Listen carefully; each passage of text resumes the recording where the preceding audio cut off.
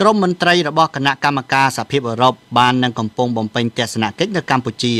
ដើម្បីសិក្សាអំពីស្ថានភាពសិទ្ធិមនុស្សនិងលទ្ធិប្រជាធិបតេយ្យគណៈក្រុមអង្គការសង្គមស៊ីវិលបានអះអាងថា ស្ថានភាពមិនមានការប្រែប្រួលនោះទេរហូតមកដល់ពេលនេះហើយមានការរដ្ឋបិទសេរីភាពនយោបាយបន្ថែមទៀតទៅលើអតីតមន្ត្រីគណៈបកប្រឆាំងនេះជាដំណើរទស្សនកិច្ចមួយនៃការស្វែងរកការពិត បន្ទាប់ពីសហភាពអឺរ៉ុបកាលពីខែកុម្ភៈបានប្រកាសចាប់ផ្ដើមដំណើរការជាផ្លូវការនីតិវិធីនៃការព្យួរប្រព័ន្ធអនុគ្រោះពន្ធដល់កម្ពុជាហៅកាត់ថា EBA បន្ទាប់ពីមានការរំលោភសិទ្ធិមនុស្សនិងការធ្លាក់ចុះលទ្ធិប្រជាធិបតេយ្យនៅកម្ពុជាមានភាពធ្ងន់ធ្ងរលោកអមសំអាតប្រធានការិយាល័យបច្ចេកទេសស៊ើបអង្កេត របស់អង្គការសិទ្ធិមនុស្សលីកាដូបានថ្លែងប្រាប់ VOA ថារូបលោកនិងមន្ត្រីសិទ្ធិមនុស្សផ្សេងទៀត នឹងជួបជាមួយក្រុមមន្ត្រីរបស់សហភាពអឺរ៉ុបនៅថ្ងៃពុធស្អែកនេះលោកបន្ថែមថាស្ថានភាពសិទ្ធិមនុស្សនិងលទ្ធិប្រជាធិបតេយ្យមិនមានភាពល្អប្រសើរនោះទេ តែផ្ទុយទៅវិញ វាបន្តធ្លាក់ចុះដោយសារអតីតសកម្មជនគណៈបកសង្គ្រោះជាតិជាង140នាក់ត្រូវបានកោះហៅទៅសាកសួរនៅតុលាការ និងនៅប៉ុស្តិ៍នគរបាល អំពីការបំពេញដីការរំលាយគណៈបកប្រឆាំងកម្ពុជាយើងអភិរិជាមិនទាន់មានអ្វីដែលកែប្រែទៅរកភាពល្អប្រសើរទាក់ទងនឹងដំណើរការរដ្ឋាភិបាលបញ្ហាសិទ្ធិមនុស្សនេះទៅទៅវិញយើងឃើញថាបញ្ហាសិទ្ធិមនុស្សនេះកាន់តែធ្លាក់ចុះហើយដំណើរការសិទ្ធិប្រជាធិបតេយ្យហ្នឹងក៏ត្រូវបានធ្លាក់ចុះដែរគណៈបកសង្គ្រោះជាតិត្រូវបានរំលាយចោលដោយតុលាការកំពូល កាលពីខែវិច្ឆិកាឆ្នាំ2017ហើយបន្ទាប់មកមន្ត្រីជាន់ខ្ពស់បកប្រឆាំងចំនួន118នាក់បានបាត់បង់សិទ្ធិធ្វើនយោបាយរយៈពេល5ឆ្នាំចំណែកមន្ត្រីបកប្រឆាំងជាង5000នាក់បានបាត់បង់តំណែងរបស់ពួកគេនៅថ្នាក់ក្រោមជាតិដែលប្រជាពលរដ្ឋបានបោះឆ្នោតឲ្យហើយពួកគេបានរាយការណ៍ថាមានការរដ្ឋបិទក្នុងការបញ្ចេញមតិនិងការតាមដានការប្រើប្រាស់សិទ្ធិនយោបាយមេដឹកនាំគណៈបកសង្គ្រោះជាតិលោកកឹមសុខា ត្រូវបានចាប់ខ្លួន ដោយរងការចោទប្រកាន់ថាចូលដៃជើងជាមួយអាមេរិកដើម្បីផ្ដួលរំលំរដ្ឋាភិបាលរបស់លោកនាយករដ្ឋមន្ត្រីហ៊ុនសែនស្របពេលដំណើរទស្សនកិច្ចរបស់មន្ត្រីសហភាពអឺរ៉ុបក្រុមបញ្ញវន្តនិងអង្គការសមាគមចំនួន85ក្នុងនោះមានសមាគមការពារសិទ្ធិមនុស្សអាត6និងអង្គការលីកាដូផងដែរបានចេញសេចក្តីថ្លែងការណ៍មួយ ថាស្ថានភាពសិទ្ធិមនុស្សនិងនយោបាយរបស់កម្ពុជា មិនមានភាពល្អប្រសើរនោះទេ ពួកគេក៏បានជំរុញឲ្យរដ្ឋាភិបាលកម្ពុជា ចរចាជាមួយសហភាពអឺរ៉ុបនិងសហគមន៍អន្តរជាតិដើម្បីបញ្ជាការបាត់បង់ប្រព័ន្ធអនុគ្រោះពន្ធ EBA ទោះជាយ៉ាងណាលោកសុកអេសានអ្នកនាំពាក្យគណៈបកប្រជាជនកម្ពុជាបានថ្លែងថា សង្គមស៊ីវិលដែលបានចេញសេចក្តីថ្លែងការណ៍នេះនៅមានសិទ្ធិនៅឡើយក្នុងការបង្ហាញក្តីបារម្ភរបស់ពួកគេ ដូច្នេះលោកថាមិនមានការរឹតបន្តឹងអ្វីនោះទេ អញ្ចឹងអានេះវាគ្រាន់តែភាសាវោហាសានយោបាយតែប៉ុណ្ណោះទេតែមូលបង្កាច់សភាពការពិតហើយបើសិនណាជាមានការរំលោភសិទ្ធិមនុស្សធ្ងន់ធ្ងរនិងលទ្ធិប្រជាធិបតេយ្យដើរថយក្រោយដោយគេនិយាយទាំងអន្តរជាតិមួយចំនួនហើយទាំងនឹងនៅផ្ទៃក្នុងអតីតបពប្រឆាំងនឹងនិយាយខ្ញុំយល់ថាសង្គមកម្ពុជាអត់មានយើងនិយាយទូរស័ព្ទគ្នាបានទេប្រហែលកំពុងនៅក្នុងអានេះគេហៅត្រង់សេឬមួយក៏ក្នុងលេនដ្ឋានហើយលោកនាយករដ្ឋមន្ត្រីហ៊ុនសែនកាលពីពេលថ្មីថ្មីនេះ ក៏បានប្រតិកម្មខ្លាំងៗទៅលោកសំរងស៊ីមេដឹកនាំបកប្រឆាំងដែលកំពុងនិរទេសខ្លួននៅក្រៅប្រទេស ដែលក្រុមអ្នកតាមដានមើលឃើញថា ជាសញ្ញាអវិជ្ជមាន ចំពោះនយោបាយកម្ពុជា កាលពីសប្តាហ៍មុន នៅក្នុងកិច្ចប្រជុំមួយពីទីក្រុងតូក្យូប្រទេសជប៉ុន លោកហ៊ុនសែនបានថ្លែងប្រាប់មេដឹកនាំនិងតំណាងប្រទេសផ្សេងៗថាលោកកំពុងអនុវត្តច្បាប់នៅកម្ពុជា ហើយថាកុំយកការអនុវត្តច្បាប់ជារឿងនយោបាយអញ្ចឹងប្រទេសមួយដែលជាប្រទេសឯករាជ្យតើយើងអនុវត្តច្បាប់របស់យើងបានឬអត់ប្រទេសជប៉ុនត្រូវអនុវត្តច្បាប់របស់ជប៉ុនប្រទេសកម្ពុជាត្រូវអនុវត្តច្បាប់របស់កម្ពុជា VOA មិនអាចសុំការឆ្លើយតបពីមន្ត្រីសហភាពអឺរ៉ុបនៅកម្ពុជាបាននៅឡើយទេតាក់ទងនឹងដំណើរទស្សនកិច្ចនេះនៅពេលដែលសហភាពអឺរ៉ុបបានប្រកាសចាប់ផ្ដើមដំណើរការនីតិវិធីនៃការដកប្រព័ន្ធអនុគ្រោះពន្ធកាលពីខែកុម្ភៈ ស្នងការពាណិជ្ជកម្មសហភាពអឺរ៉ុបគឺលោកស្រី Cecilia Malmstrom មានប្រសាសន៍ថាវាច្បាស់ហើយថាចំណាត់ការនៅថ្ងៃនេះមិនមែនជាការសម្រេចចិត្តចុងក្រោយ ហើយក៏មិនមែនជាទីបញ្ចប់នៃដំណើរនីតិវិធីដែរតែនាឡិកាកំពុងដើរទៅមុខជាផ្លូវការហើយហើយយើងត្រូវការឃើញវិធានការពិតប្រាកដក្នុងពេលឆាប់ៗនេះការដកហូតពិតប្រាកដអាចនឹងធ្វើឡើងនៅខែសីហាឆ្នាំ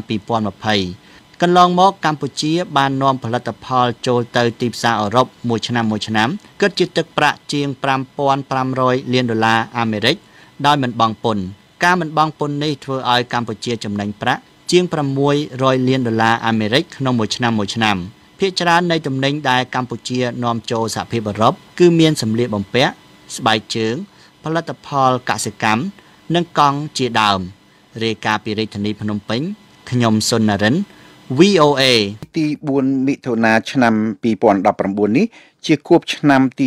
70នៃការបាត់បង់ទឹកដីកម្ពុជាក្រោមដែលប្រទេសបារាំងបានប្រគល់ឲ្យប្រទេសវៀតណាមកាន់កាប់ពលរដ្ឋខ្មែរក្រោមនិងអ្នកចូលរួមយ៉ាងច្រើនកុះកបានជួបជុំគ្នានៅទីតាំងដល់រុខេករខាមួយកន្លែងនៅខណ្ឌសែនសុខរាជធានីភ្នំពេញនាព្រឹកថ្ងៃអង្គារនេះដើម្បីប្រារព្ធពិធីសាសនា និងថ្លែងសារនយោបាយ បង្ហាញពីការតាំងចិត្តរបស់ពលរដ្ឋខ្មែរក្រមក្នុងការបន្តរស់នៅ និងលើកស្ទួយទឹកដីកំណើតរបស់ខ្លួន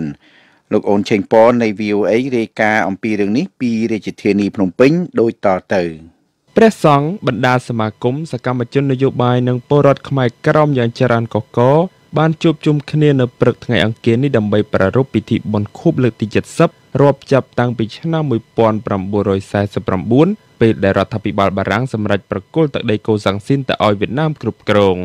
ក្នុងទីតាំងដីឡូមួយកន្លែងក្នុងខណ្ឌសែនសុខរាជធានីភ្នំពេញដែលពោពេញទៅដោយភក់ជ្រាំនិងហុំព័ទ្ធទៅដោយសំណង់ផ្ទះល្វែងជុំចិត្តរោងពិធីត្រូវបានសាងសង់ឡើងដោយមានអ្នកចូលរួមប្រមាណ2000នាក់បន្ទាប់ពីខាងអ្នករៀបចំបានលើកឡើងថាសំណើសុំធ្វើកម្មវិធីនៅទីលានប្រជាធិបតេយ្យក្នុងខណ្ឌរិស័យកែវត្រូវបានអាជ្ញាធរបដិសេធ នៅឯទីតាំងពិធីមានការជជែកនិងការលើកឡើងជាសេចក្តីថ្លែងការណ៍ស្រដៀងស្រដៀងគ្នា ពីសំណាក់វាគ្មិនផ្សេងផ្សេងអំពីការរំលឹកចងចាំដំណើរឈានឆ្ពោះទៅរកការកាត់ទឹកដីកម្ពុជាក្រោមទៅក្នុងការគ្រប់គ្រងរបស់ប្រទេសវៀតណាម លោកតូចថង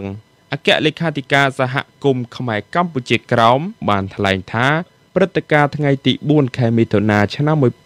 1949ជាហេតុការណ៍ប្រវត្តិសាស្ត្រដែលបណ្ដាជនខ្មែរមិនត្រូវបំភ្លេច ចំពោះក្តីអយុត្តិធម៌ដែលកើតចេញពីការសម្រេចរបស់អាជ្ញាធរបារាំងនៅគ្រានោះឡើយយើងខ្ញុំទាំងអស់គ្នា បានមកជុំជួបជុំក្នុងថ្ងៃនេះជាថ្ងៃប្រវត្តិសាស្ត្រមួយដ៏ជូរចត់ដែលកូនចៅខ្មែរគ្រប់រូបមិនអាចបំភ្លេចបានគ្រប់កាលសម័យហើយគឺជាថ្ងៃគម្រប់ខួប70ឆ្នាំ នៃថ្ងៃអាណានិគមយួនកាន់កាប់ទឹកដីកម្ពុជាក្រមរហូតមកដល់សប្តាហ៍ថ្ងៃ ដោយពុំមានអិសរាជជន ខ្មែរណាឬប្រជាជនខ្មែររូបណាយល់ព្រមឬទទួលស្គាល់ឡើយសកម្មជនខ្មែរកម្ពុជាក្រោមរូបនេះបានថ្លែងបន្តទៅកាន់អង្គពិធីយ៉ាងដូចនេះថា ម្យ៉ាងទៀតខ្ញុំសូមឲ្យខ្មែរយើងគ្រប់រូបកុំយល់ឃើញថាទឹកដីកម្ពុជាក្រមគ្រាន់តែមាននៅក្នុងអារម្មណ៍នោះសូមឲ្យទឹកដីកម្ពុជាក្រមស្ថិតនឹងបេះដូងកូនខ្មែរគ្រប់រូបនិងធ្វើការទៀមទាឲ្យមានសេរីភាពដូចជាប្រជាជាតិនៅលើពិភពលោកជាងនេះដែរបណ្ដាវាគ្មិនដតីទៀតដែលឡើងថ្លែងក្នុងរោងពិធីប្រក់តង់ក្រមកម្ដៅថ្ងៃស្រោចកំឡោចនាវេលាពេលព្រឹកមុនបាយថ្ងៃត្រង់ បានលើកឡើងអំពីការធ្វើទុកបុកម្នេញរបស់អាញាធរវៀតណាមលើពលរដ្ឋខ្មែរក្រមម្ចាស់ស្រុកទាំងការរឹតបន្តឹងលើសេរីភាពនយោបាយនិងសេរីភាពខាងជំនឿសាសនារបស់ពួកគេក្នុងឆ្នាំ1949រដ្ឋអំណាចបារាំងបានសម្រេចប្រគល់ការកាន់កាប់ចំណែកទឹកដីកូសាំងស៊ីនឬកម្ពុជាក្រោមដែលមានទីតាំងនៅដីសណ្ដោប៉ែកខាងក្រោមទន្លេមេគង្គទៅឲ្យវៀតណាមគ្រប់គ្រងខណៈដែលចលនាទាមទារឯករាជ្យ បានផ្ទុះឡើងនៅទូទាំងតំបន់ឥណ្ឌូចិនដែលជាមូលដ្ឋានអាណានិគមរបស់ខ្លួននៅតំបន់អាស៊ីអាគ្នេយ៍ទឹកដីកម្ពុជាក្រោមត្រូវបានគេប៉ាន់ប្រមាណថាមានទំហំ67700គីឡូម៉ែត្រក្រឡាដែលមានបណ្ដាជនខ្មែរក្រោមរស់នៅប្រមាណ7លាននាក់នេះបើយោងតាមតួលេខនៃអង្គការនៃបណ្ដាប្រជាជាតិនិងប្រជាជនខ្វះភាពតំណាង UNPO ទិន្នន័យផ្លូវការរបស់រដ្ឋាភិបាលវៀតណាមបានដាក់តួលេខជនជាតិខ្មែរក្នុងប្រទេសរបស់ខ្លួន នៅត្រឹមតែ1លាន2សែននាក់តែប៉ុណ្ណោះគិតត្រឹមល្ងាចថ្ងៃអង្គារនេះស្ថានទូតវៀតណាមនៅភ្នំពេញមិនបានឆ្លើយតបនឹងសំណើសំកាប់បំភ្លឺរបស់ VOA ឡើយតាក់ទិននឹងថ្ងៃអនុស្សាវរីយ៍70ឆ្នាំនៃការបាត់បង់ទឹកដីកម្ពុជាក្រោមនេះគណៈស្ថានទូតបារាំងបានបដិសេធមិនធ្វើអត្ថាធិប្បាយអ្វីឡើយអ្នករៀបចំកម្មវិធីបានលើកឡើងថាព្រះបរមរាជវាំងបានបរិច្ចាគវិភាគទានក្នុងទំហំទឹកប្រាក់3000ដុល្លារសហរដ្ឋអាមេរិក ដល់ការប្រារព្ធកម្មវិធីរំលឹកខួបខាងលើព្រះអង្គម្ចាស់ក្សត្រីស៊ីសវត្តពងនារីមនីពងឧត្តមទីប្រឹក្សាផ្ទាល់ព្រះមហាក្សត្រព្រះបាទនរោត្តមសីហមុនីបានយាងចូលរួមជាព្រះអធិបតីក្នុងអង្គពិធីតំណាងឲ្យព្រះរាជានិងព្រះរាជវាំងដោយព្រះអង្គម្ចាស់ក្សត្រីបានកោតសរសើរអង្គការសមាគមខ្មែរក្រមនានាចំពោះកិច្ចខិតខំប្រឹងប្រែងលើកស្ទួយអត្តសញ្ញាណប្រពៃណីនិងវប្បធម៌របស់ខ្លួន ណាមួយឆ្នាំមិនចាំចេះតែនៅតតុកតិចច្រើនគេចេះតែតតុកជាប់រហូតកុំធ្វើការព្យាយាមវាមិនដែលអត់បានផលទេវាតែងតែបានផលគ្រាន់តែយូរហើយនឹងខាំទាល់តែយើងមានចិត្តអត់ធ្មត់ខ្លាំងខ្លាណាស់ព្រះអង្គម្ចាស់ក្សត្រីដែលមានព្រះមេដាជាខ្មែរកម្ពុជាក្រមអង្គនេះបានមានព្រះបន្ទូលបន្តថា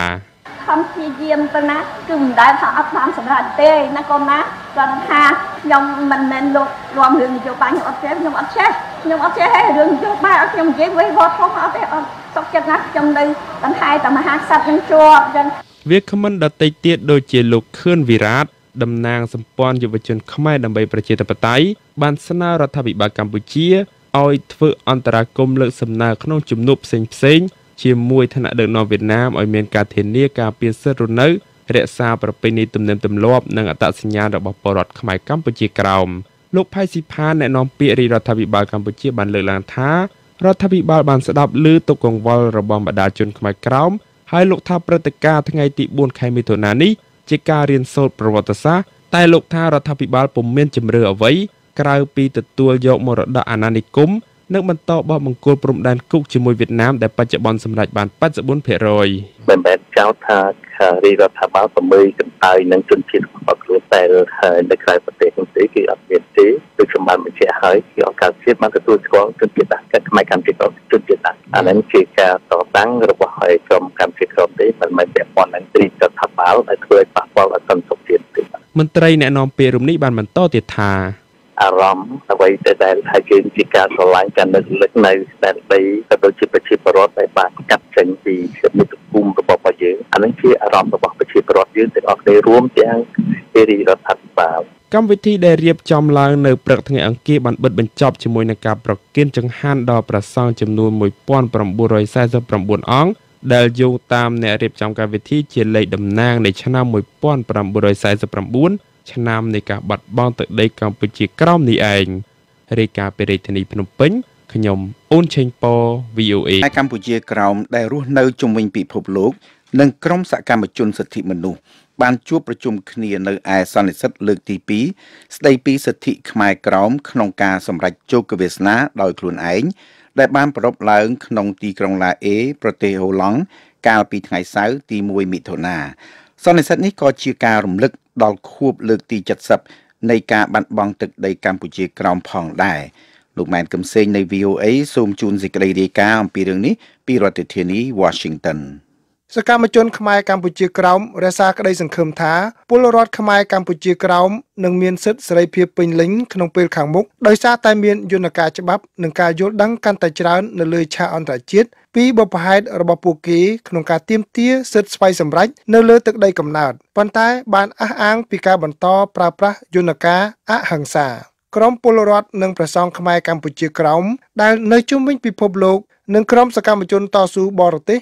ដែលគ្មានតំណាងនៅអង្គការសហប្រជាជាតិរួមទាំងអ្នកជំនាញសិទ្ធិមនុស្សអន្តរជាតិចំនួន200នាក់បានជួបជុំគ្នានៅឯសន្និសីទលើកទី2ស្ដីពីសិទ្ធិខ្មែរក្រោមក្នុងការសម្រេចជោគវាសនាដោយខ្លួនឯងនិងក៏ដើម្បីរំលឹកដល់រយៈពេល70ឆ្នាំនៃការបាត់បង់ទឹកដីកម្ពុជាក្រោមទៅក្រោមការគ្រប់គ្រងរបស់រដ្ឋបាលវៀតណាមផងដែរពិធីដែលមានលក្ខណៈអន្តរជាតិនេះត្រូវបាន ប្រារព្ធធ្វើឡើងក្នុងទីក្រុងឡាអេប្រទេសហូឡង់កាលពីថ្ងៃសៅរ៍ទី1ខែមិថុនា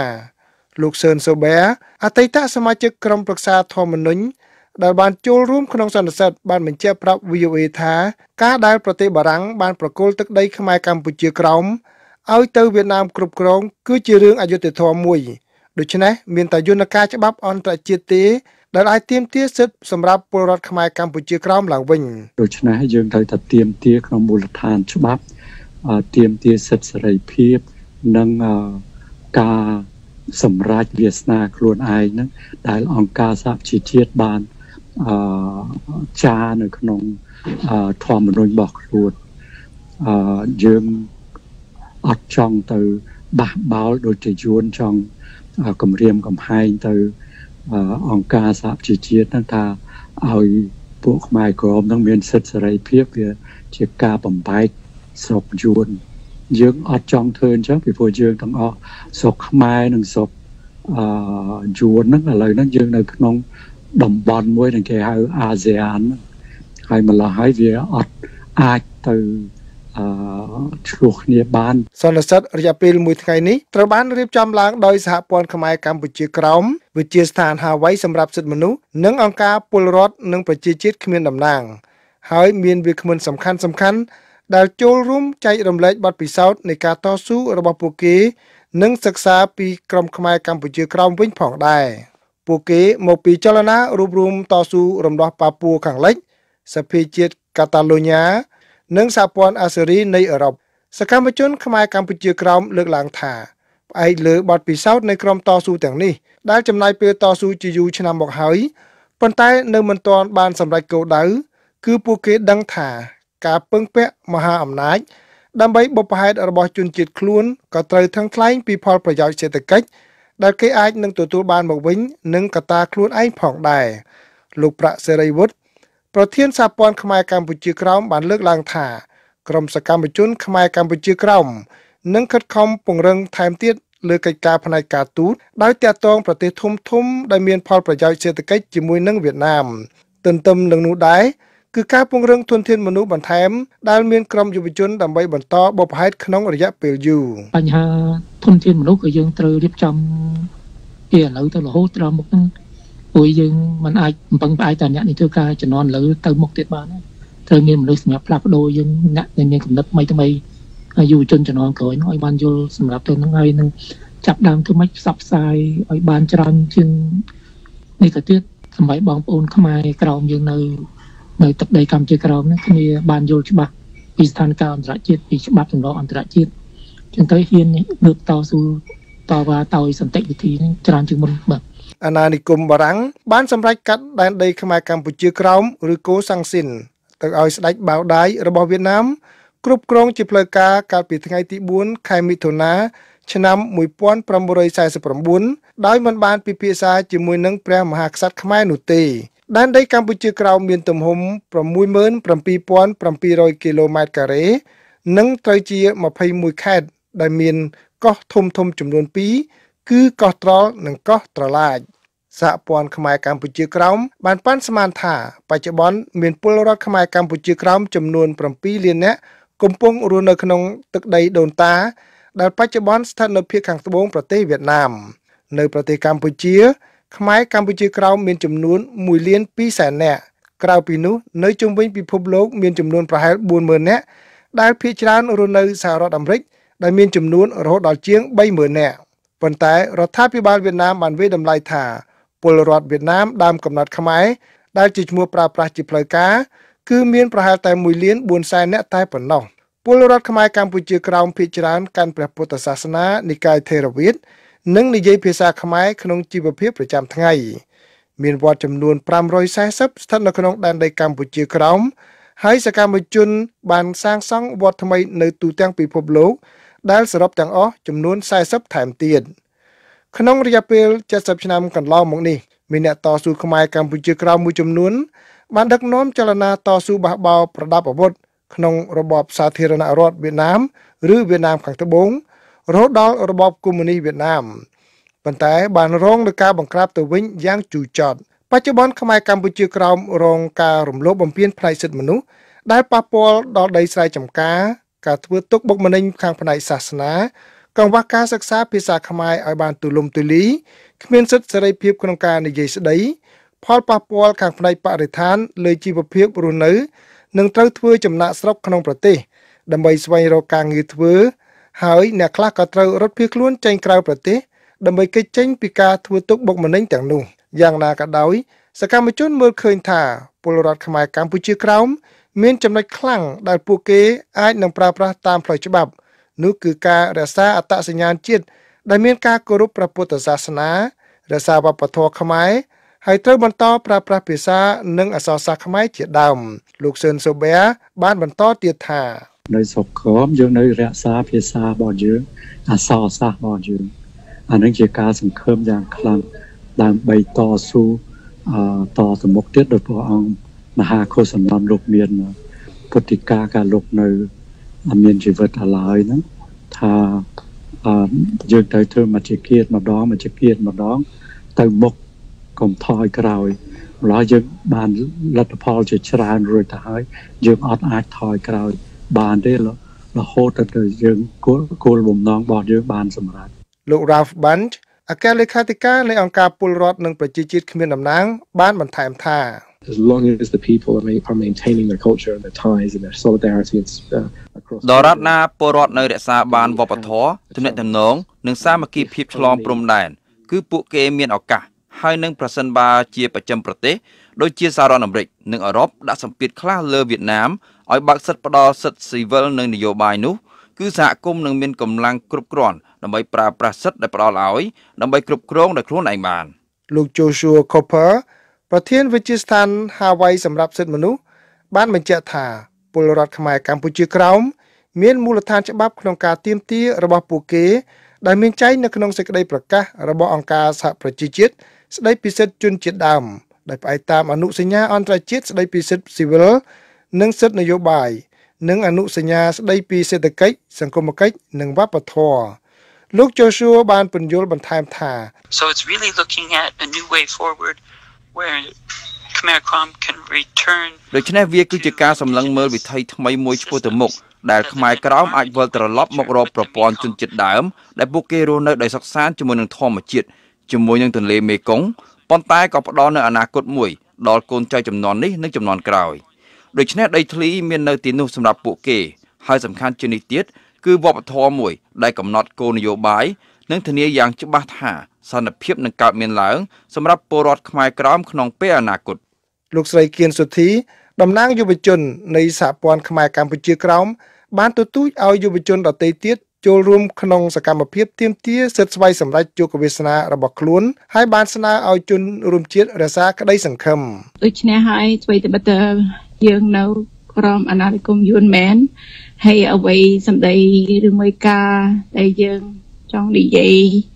វាមានចិត្តមានមានការលំបាកខ្លាំងមែនតើក៏ប៉ុន្តែយើងទៅស៊ូទ្រាំហើយមានក្តីសង្ឃឹមថាយើងតែតែមានអសហព័ន្ធដែលជាបន្លឺមួយដែលភ្លឺខ្លាំងមែនទែនដែលនឹងជួយបង្ហាញផ្លូវដើម្បីឲ្យឲ្យយើងមានសេរីភាពក្នុងនិយាយស្ដីក្នុងពុទ្ធសាសនា ហើយជាពិសេសក្នុងការដែលយើងចង់បានក្នុងការសម្រេចខ្លួនដោយខ្លួនឯងក្រុមសកម្មជនខ្មែរកម្ពុជាក្រោមដែលនៅទូទាំងពិភពលោកតែងតែដឹកនាំធ្វើបាតកម្មនៅសហរដ្ឋអាមេរិកនិងសហភាពអឺរ៉ុបនឹងធ្វើសកម្មភាពបញ្ចុះបញ្ចូលរដ្ឋាភិបាលនៃបណ្ដាប្រទេសទាំងនោះ ឲ្យលើកឡើងពីទុកលំបាករបស់ពលរដ្ឋខ្មែរកម្ពុជាក្រោមនៅរាល់ពេលដែលមានក្រុមប្រតិភូទៅទស្សនកិច្ចប្រទេសវៀតណាមរឿងក្តីអតីតអ្នកយកព័ត៌មានវិទ្យុអាស៊ីសេរី2នាក់បន្តស្ថិតនៅក្រោមការតាមដានយ៉ាងដិតដល់របស់ក្រុមការងារអង្គការសហប្រជាជាតិដែលកត់សម្គាល់ថាការឃុំខ្លួនអ្នកទាំងពីរមិនមានមូលដ្ឋានច្បាប់ណាមួយដែលអាចយកមកប្រើប្រាស់ដើម្បីដកហូតសេរីភាពរបស់ពួកគេឡើយ យ៉ាងណាក្តីអ្នកនាំពាក្យក្រសួងយុតិធធកម្ពុជានិយាយថាភាគីដែលឈឺឆ្អាលរឿងក្តីនេះត្រូវចូលរួមជាមួយតុលាការកម្ពុជា ដើម្បីផ្ដល់ភ័ស្តុតាង បង្ហាញពីភាពស្អាតស្អំរបស់អតីតអ្នកយកព័ត៌មានវិទ្យុអាស៊ីសេរីទាំងពីរអ្នកនោះលោកហុលរស្មីនៃ VOA សូមជូនសេចក្តីរាយការណ៍ពីរាជធានីភ្នំពេញដូចតទៅ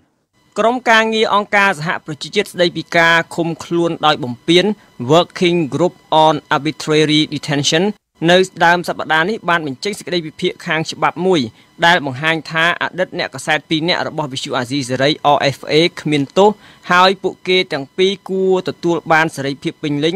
និងលទ្ធភាពទទួលបានសំណងនេះបើយោងតាមសេចក្តីប្រកាសមួយដែលបានបង្ហាញលើ បណ្ដាញទំនាក់ទំនងសង្គមរបស់ការិយាល័យឧត្តមស្នងការអង្គការសហប្រជាជាតិទទួលបន្ទុកសិទ្ធិមនុស្សនៅកម្ពុជាអតីតអ្នកយកព័ត៌មានទាំងពីរគឺលោកយាងសុធារិននិងលោកអ៊ួនឈិនត្រូវបានអាជ្ញាធរចាប់ខ្លួននិងចោទប្រកាន់កាលពីថ្ងៃទី18ខែវិច្ឆិកាឆ្នាំ2017ពីបទផ្ដាល់ព័ត៌មានដល់រដ្ឋបរទេសដែលអាចធ្វើឲ្យអន្តរាយដល់ការការពារជាតិព ប្រសិនបើត្រូវបានរកឃើញថាមានទោសមែននោះអ្នកទាំងពីរអាចត្រូវជាប់ពន្ធនាគារពី7ដល់15ឆ្នាំ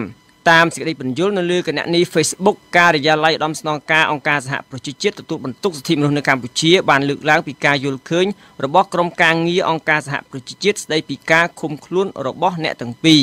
ក្រមការងារបានផ្ដល់ហេតុផលថាការឃុំខ្លួនពួកគេ គឺជាការឃុំខ្លួនដោយបំពានដោយសារមិនមានមូលដ្ឋានច្បាប់ណាមួយអាចយកមកប្រើប្រាស់ដើម្បីធ្វើយុត្តិកម្មដើម្បីដកហូតសេរីភាពរបស់ពួកគេឡើយហើយការឃុំខ្លួនពួកគេកើតចេញពីការអនុវត្តសិទ្ធិសេរីភាពនៃគំនិតនិងការបញ្ចេញមតិដោយសន្តិវិធីការឃុំខ្លួនដដែលនេះ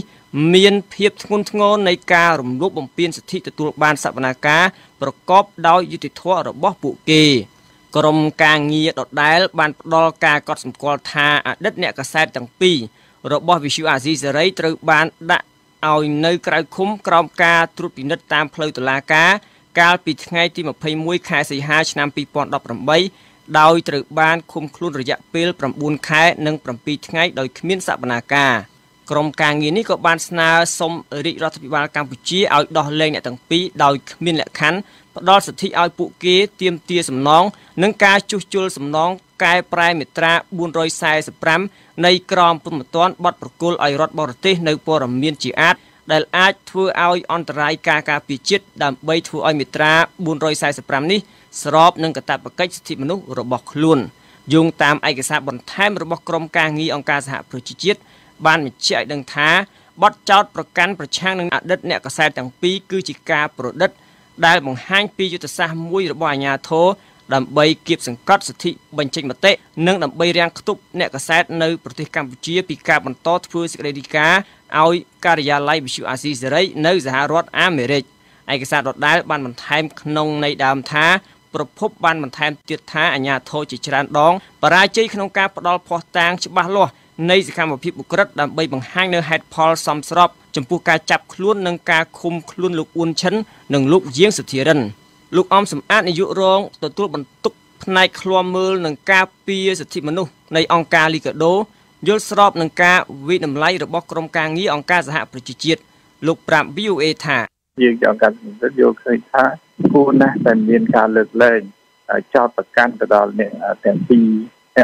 ឲ្យមានសេរីភាពពេញបរិបូរណ៍ហើយដើម្បីជាការលើកកម្ពស់ បន្ថែមទៀតចំពោះវិស័យនៃសារព័ត៌មាននៅក្នុងប្រទេសកម្ពុជាយើងនេះបាទក៏ប៉ុន្តែលោកចិនម៉ាលីនអ្នកនាំពាក្យក្រសួងយុទ្ធភ័ពយល់ថាកម្ពុជាមានប្រព័ន្ធយុទ្ធភ័ពឯករាជ្យហើយទស្សនៈរបស់បុគ្គលឬអង្គការណាមួយមិនអាចដាក់សម្ពាធលើប្រព័ន្ធយុទ្ធភ័ពនៅកម្ពុជាបានទេលោកប្រាប់ VOA ថាមានតែការចូលរួមផ្ដល់ហេតុផលនិងភ័ស្តុតាងបន្ថែមដែលអាចបញ្ជាក់ថាអតីតអ្នកកសែតទាំងពីររបស់ RFA មិនបានធ្វើខុសដោយការចោទប្រកាន់នោះ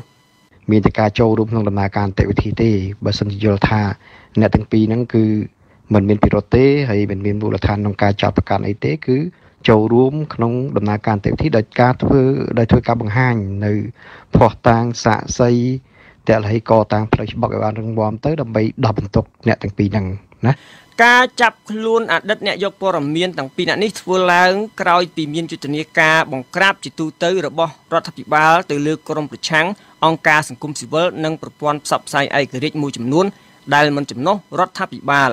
ដោយមិនបានបញ្ជាក់ហេតុផលកាលពីដើមខែសីហាឆ្នាំ2018ចៅក្រមសាលាដំបងរាជធានីភ្នំពេញបានចេញនីការដោះលែងលោកអ៊ុនឈិននិងលោកយីងសធិរិនឲ្យបានស្ថិតនៅក្រៅឃុំបន្ទាប់ពីត្រូវបានឃុំខ្លួនអស់រយៈពេលជាង9ខែមកនោះ លោកយីងសធិរិនអតីតអ្នកយកព័ត៌មានរបស់វិទ្យុអាស៊ីសេរីមានប្រសាសន៍ថាលោកចង់ឃើញស្ថាប័នតុលាការផ្ដល់យុត្តិធម៌ឲ្យបានឆាប់សម្រាប់រូបលោកនិងបញ្ឈប់ការដាក់ឲ្យលោកនិងអតីតសហការីលោកម្នាក់ទៀតឲ្យស្ថិតក្រោមការត្រួតពិនិត្យរបស់តុលាការយើងមិនមានសិទ្ធិសម្បីតែទៅស្រុកកំណើតជួបប្រពន្ធម្ដាយក៏អត់មានបានដែរហ្នឹងហើយត្រូវចំណាយពេលទៅបង្ហាញខ្លួននេះយើងអត់ចង់រស់នៅអញ្ចឹងហើយយើងក៏ចង់មានសេរីភាពដោយពលរដ្ឋទូទៅដែរអញ្ចឹងខ្ញុំនៅតែទៀមទានិងស្នើឲ្យ ខាងតឡាការហ្នឹងតម្លាក់បတ်ចោតលើពួកខ្ញុំអញ្ចឹងបាទក្នុងសំណុំរឿងរបស់អតីតអ្នកកសែតទាំងពីរអ្នកនេះលោកស្រីរ៉ូណាស្មីតអ្នករាយការណ៍ពិសេសរបស់អង្គការសហប្រជាជាតិទទួលបន្ទុកសិទ្ធិមនុស្សនៅកម្ពុជា បានលើកទឹកចិត្តម្ដងហើយម្ដងទៀតឲ្យទម្លាក់ការចោទប្រកាន់លើអតីតអ្នកសារព័ត៌មានវិទ្យុអាស៊ីសេរីទាំងពីរផងដែររាយការណ៍ពីរាជធានីភ្នំពេញខ្ញុំហុលរស្មី VOA